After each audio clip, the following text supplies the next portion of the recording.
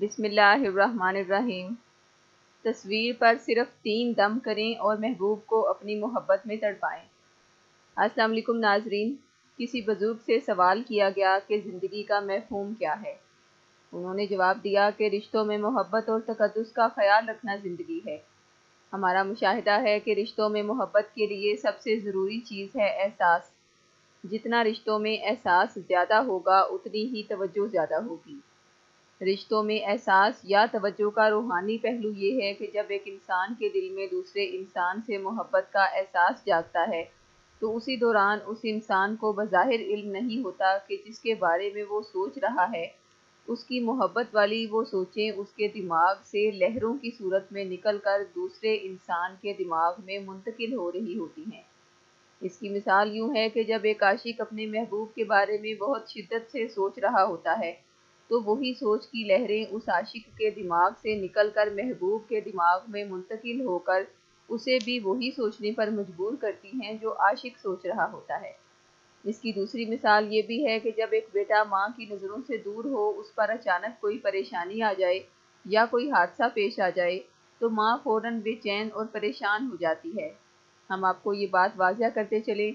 कि आशिक के दिमाग से निकलने वाली मोहब्बत की लहरों में जितनी ज़्यादा शिद्दत और तड़प होगी तो उसी कदर वो लहरें ताकतवर होंगी और महबूब के दिमाग में जाकर उसकी तड़प को बढ़ाएँगी।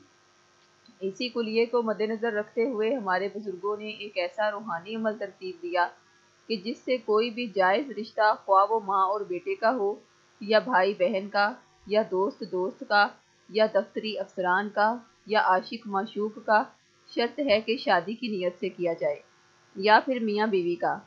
आप इस रूहानी अमल को अदा करके चंद ही दिनों में दूसरे इंसान के दिल में मोहब्बत और एहसास के जज्बात पैदा कर सकते हैं। जिसका तरीकाकार ये है कि अपना नाम और वालदा का नाम हमें कमेंट करें।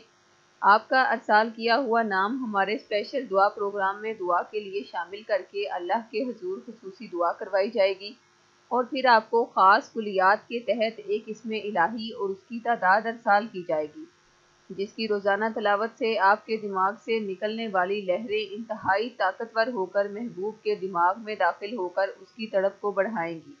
आपने मतलूबा शख्स की तस्वीर पर दिया हुआ इसमें आज़म दी गई तादाद के मुताबिक तलावत करके उसकी आँखों में देख कर उस पर फूंक मारनी है। ये रूहानी अमल तीन दिन के अंदर अंदर अपने असरात मुरतब करेगा। अगर तीन दिन में मतलूबा नतज ना मिलें तो इस अमल को ग्यारह दिन तक जारी रखें। नोट तस्वीर ऐसी होनी चाहिए कि जिसमें आँखें वाजिया नज़र आ रही हों। अगर तस्वीर दस्तियाब ना हो तो मतलूबा शख्स की आँखों का तस्वुर करके भी ये अमल किया जा सकता है। ये अमल माँ, बेटा, बहन, भाई, मियाँ, बीवी या किसी भी जायज़ रिश्ते में मोहब्बत पैदा करने के लिए किया जा सकता है।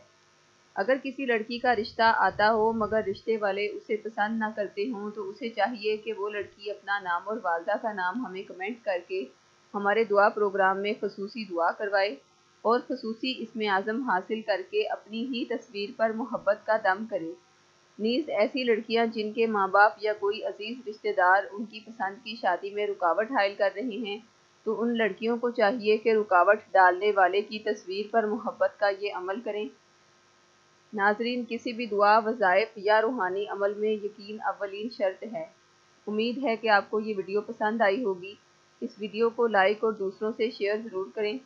अगर आप चाहते हैं कि हमारे चैनल पर अपलोड होने वाली हर नई वीडियो आप तक पहुँच सके तो इस चैनल को सब्सक्राइब कर लें और मज़ीद रूहानी मसाइल के हल के लिए हमारी वेबसाइट www.pre.net.pk पर विज़िट करें। शुक्रिया, अल्लाह हाफिज़।